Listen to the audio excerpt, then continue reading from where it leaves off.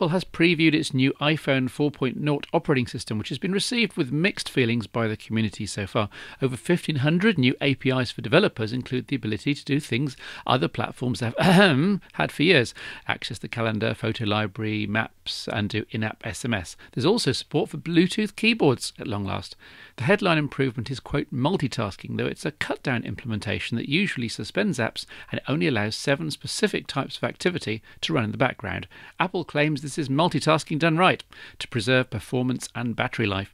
I think it's a bit of a kludge, but who am I to disagree? The UI will probably work superbly, which is what users care about.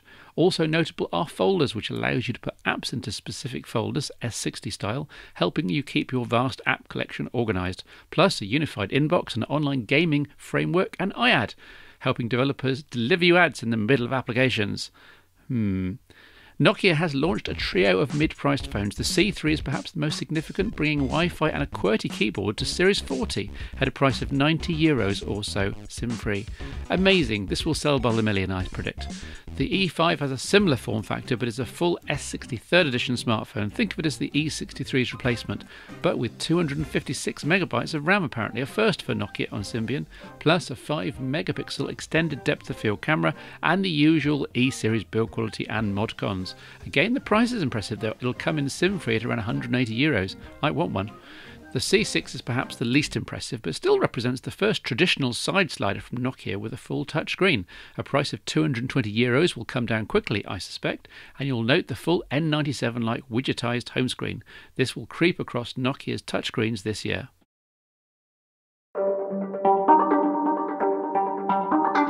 One hundred and eight shows under my belt. Phew. I thought it was high time for another of my periodic chats about the show itself to make sure everyone's up to date. Firstly, there's stevelitchfield.com as a way in, which should remain forever, even if the old UK Online server ever gives up the ghost. It might even be easier to remember too. It has been just over a year since I introduced a VGA high resolution version of the phone show. What do you mean you're still looking at the old blocky quarter VGA version? Uh, 75% of the people via iTunes are still looking at my small blocky feed. Change it. Use the high resolution VGA feed now, please. Mind you, even VGA is looking a little low res in 2010, and rest assured, I'm investigating going widescreen and maybe even HD. But my stipulation that the show has to be shot on a phone is proving a hard nut to crack here. I'm simply not happy enough yet with the quality available from phones. Watch this space. A few numbers. There are 2,500 YouTube subscribers and an average of around 5,000 people choose to watch online on their desktop by using YouTube. Most people, another 40,000 or so, watch via download, though either through iTunes or through podcasting or similar on their phone. Of that fairly large number, 40,000, there are currently only 46 people supporting me with my virtual pint of beer a month thank you scheme. This is part of my full time work and I need to bring in more if the phone show is to continue beyond the summer. Can you help? If you can, I've got a rolling programme of giveaways from me to you for both monthly subscribers and ad hoc donators. Lots of extra view stuff that needs a good home so you can help the show and win some great stuff at the same time. You can feed back to me on the show via email or via Twitter. When commenting to videos on my YouTube channel, remember that comments won't show up immediately. I moderate every one. About one in five are spam or contain obscenities but I normally get into approved sensible comments within a couple of hours. There's also a new form of the phone show if you're more into audio than video. I now do an MP3 version, the audio track of the main show, if you'd rather just add this to your audio podcast rack. You'll be missing my ugly mug though and all the nice photos and videos. One last thing, if you haven't tried my hour long weekly audio podcast, Phone Show Chat, which I do with Tim Salmon, then give this a try as well. This is unscripted and we cover all platforms, releases, and topics. Give it a try. Thanks again if you've been supporting the phone show. Even if you can't afford to send in a few pounds a month, why not tell a few friends or colleagues and help spread the word? Screen size is something that creeps up on you. I've been thinking that the 3.7 OLED display on the i8910 was pretty awesome. And then along comes the Sony Ericsson Xperia X10 with a 4 inch transflective screen that knocks even the iPhone's display into a hat, even in bright sunlight. Amazing. Is this device all about the display? Kind of. Are there any gotchas? You bet. This is Sony Ericsson's first Android phone, following on from two very lackluster Windows Mobile efforts and the Satio and Vivaz on Symbian, both of which I reviewed on the phone show recently, and neither of which I was much impressed by. Can the X10 fare better? On the whole, yes.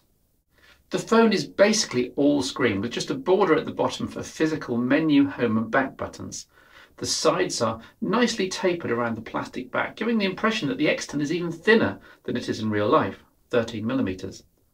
A camera shutter button and a volume rocker on the right side, power button and 3.5mm jack and micro USB socket on top, and that's your lot. Fairly minimalist, but undoubtedly stylish. Inside, there's a 1500 mAh battery that performed very well in my tests. Yes, you'll have to charge at night, but it'll get you through the day. Before I tackle the software side of things, I have to take issue with Sony Ericsson on some of their design decisions. Two LEDs flank the home button, why? Did they think users wouldn't be able to find it? The problem is that they're very bright and distracting, especially when the screen's very dim, which brings me to the problem number two. Maybe in a bid to preserve battery life, Sony Ericsson's auto brightness setting is unreadably dim. In fact, it's, it's dimmer than the very bottom setting on the manual brightness slider. Also fixable in software are the camera algorithms, hopefully. 8 megapixel photos come out rather washed out when the sun's bright, disappointing exactly when you want to be snapping. Uh, and as for videos, this is testing a video capture on the Sony Ericsson Xperia X10 wide VGA a pretty good frame rate. There's no preset focus though and no video capture focus so I should be rather blurry right now. Also there seems to be a problem with the audio video lip sync. See what you think as with previous Sony Ericssons, there's no LED flash, just an always on or off photo light. Go figure. What's not fixable in software is the speaker. It's tiny, tinny, and a complete waste of time. Here's the same piece of music at maximum volume on the X10 and on the Samsung i8910 HD.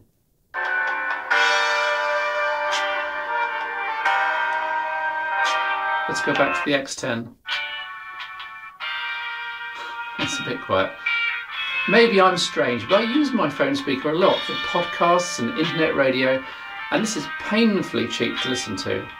The screen is utterly fabulous, but these other niggles let the X10 down badly. But let's draw a line under the uh, hardware and turn to software, which Sony Ericsson have tinkered with as they love to do. Under the hood, running on a speedy 1 GHz Snapdragon is Android 1.6. Yes, yes, it's quite old now, but I'm not going to bash Sony Ericsson too badly on this. Even HTC are taking their time with their Hero. So the upgrade to Android 2.1 is obviously a bit more problematic than it seems. Sony Ericsson's main additions are two overlays, just as on the Satio and Vivaz you may remember. Timescape, shown here, in which your photos and social contacts and messages are all brought into a single timeline, updated in real time. It's fun to watch, especially if you follow a lot of Twitter or Facebook contacts, but you can't really read anything as it scrolls by. Tapping on a tweet, for example, stops the timeline and shows the tweet in full, but to do anything with it, such as reply, you've got to tap again and wait while the uninspiring Twitter mobile website loads in the browser. It's nice eye candy, but I'd want to be looking through Twitter in a proper client like Seesmic or Twitteroid. Far better. Ditto for Facebook.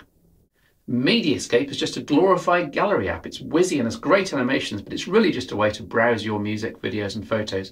And critically, it doesn't run in landscape mode, so you'll be turning and tapping, and turning and tapping, and so on. There's also no multi-touch here when viewing photos, so you have to tap on zoom icons here, as you also do in the web browser. It's not a huge problem, but given the capacitive display, I really can't see why Sony Ericsson couldn't have mastered multi-touch for this flagship device. Music playback is of high quality via the 3.5mm jack, but for some weird reason my album tracks from iTunes played in the wrong order. It looks like a Mediascape bug, uh, since going to other views the tracks are listed correctly. One more for Sony Ericsson to fix. The application bundle here is standard Android. Apart from contacts being AWOL, funnily enough, you get Phonebook, which doesn't sync to your Google Contacts rather stupidly, at least not on the review device. Uh, Google Maps, the old version 3, although version 4 with free navigation was a trivial install. the Moxier Microsoft Exchange client suite, uh, MobiSystems Office Suite file viewers, and a 30-day trial of Wisepilot navigation. Entering text is all done with the Android or Sony Ericsson custom virtual keyboards. There's no system-wide voice input here. They work well enough, but aural and haptic feedback is disabled by default, partly because it's so horrible. Here we go, over loud dings and weak vibrations. I noticed the problem especially coming from the i8910HD, which lacks the text correction but does have super aural and haptic feedback. Never mind the Sony Ericsson extensions to Android, the story here is the form factor and the screen. If you really want to see your Android apps in 4-inch glory in all light conditions, the X10 is worth the investment. But it's not head and shoulders above the likes of the Nexus One, the HTC Desire and the Motorola Milestone. The Android world, it seems, is still looking for its champion. This is the X10.